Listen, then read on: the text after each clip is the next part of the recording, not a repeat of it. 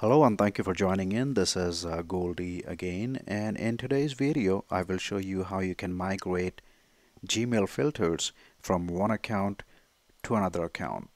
Uh, your use case may be that you already have created a few filters in your uh, Gmail account and now you're switching to another Gmail account or maybe another Google Apps or G Suite account and instead of creating all those filters one by one from scratch, you might take advantage of Gmail's feature, which allows you to just take all the filters that you have already created in one of your Gmail boxes and migrate the, those to the new one.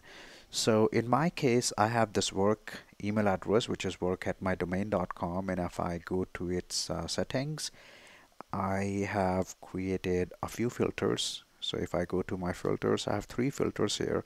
And then when I go to my personal account which is my new mailbox I don't have any filters. And instead of creating these one by one I want to migrate these three to my new mailbox. So let's see how we can do that. The first step is to select the filters that you want to migrate. Either you can select them one by one.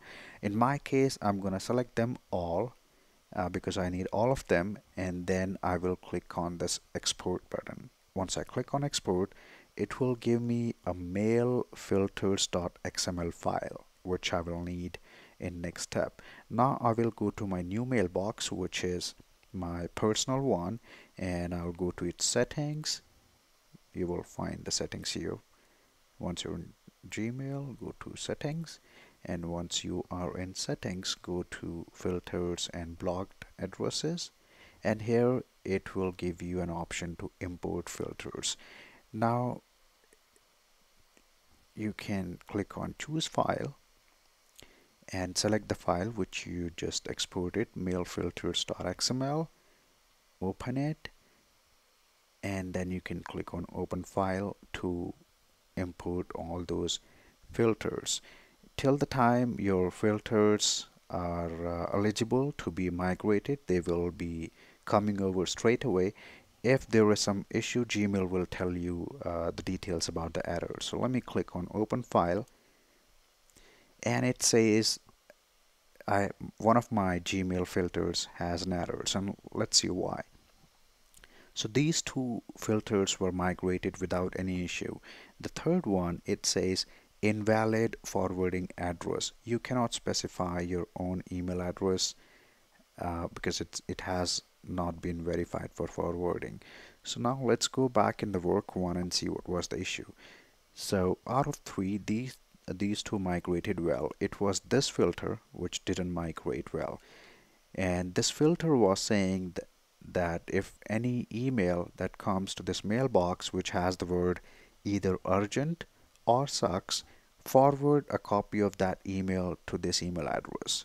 Now Gmail will only allow you to uh, forward emails to any email ID once you verify that you have permissions to forward to that email address.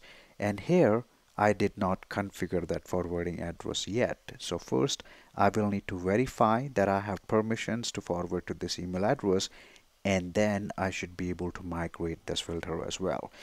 So it, it depends on uh, you know the criteria which which you're importing but usually in case if you don't have such filters that are so dependent on a few things you should be easily able to migrate all your filters to your new mailbox and it will work in Gmail or business class of Gmail hope it was helpful if you have any questions feel free to put your comments and I'll be happy to help. Thank you so much